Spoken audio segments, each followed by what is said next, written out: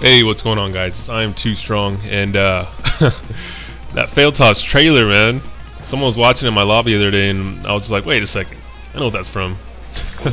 but uh, thanks to all who checked it out and checked out the montage. You guys are showing a lot of support, and the comments are just too strong, man. You guys are just killing the comments, and uh, you guys are just being really cool about everything and uh, being chill. So thanks for checking it out, and um, to all who followed my Twitch, thanks for you know stopping by and, and following.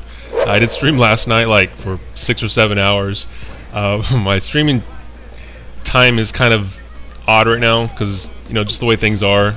I can only stream pretty much at night um, until I figure out something in the daytime. Uh, it's gonna be like at midnight Cali time. So um, if you guys are still up, then you can check it out. Um, sometimes I tweet it out, sometimes I don't. Because like I said, I'm still working out the kinks.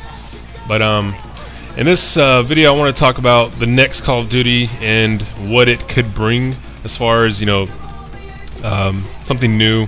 Everyone's talked about Call of Duty Advanced Warfare already, so I'm gonna just go over you know what I think as far as like the past Call of Duties and um, what I hope they do.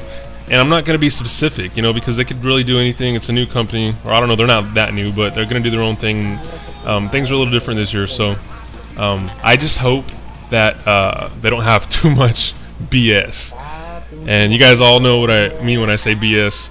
You know, the EMPs from Black Ops 2, the C4, which I hate.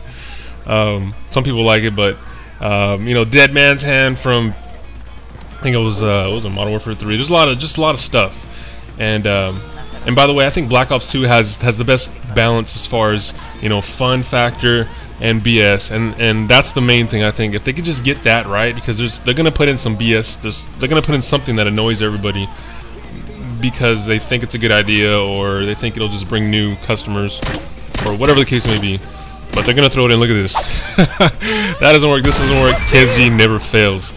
Um, yeah. So like Black Ops 2, I think it had like a good, you know, balance. Like it was like 50-50. You know, they had a good 50% fun, fun factor, and then 50% of it was BS.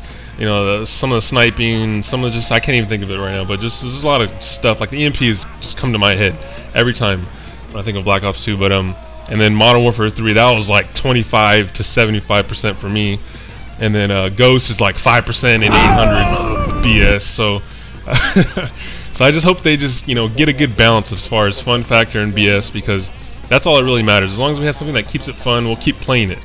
Um, that's it for now, guys. Just a little short com, and uh, I'll see you guys in the next one. All right, later.